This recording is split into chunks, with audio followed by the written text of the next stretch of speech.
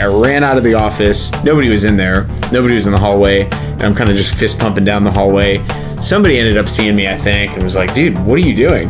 And I was you know, just celebrating the creation of the first ever demo team, something that we'd always talked about on this team for, you know, the previous three seasons. And then since then, I mean, we've launched into a ton of work getting it ready.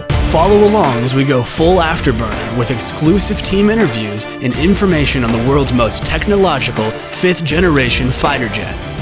During the official F 35A Lightning II Demonstration Team podcast.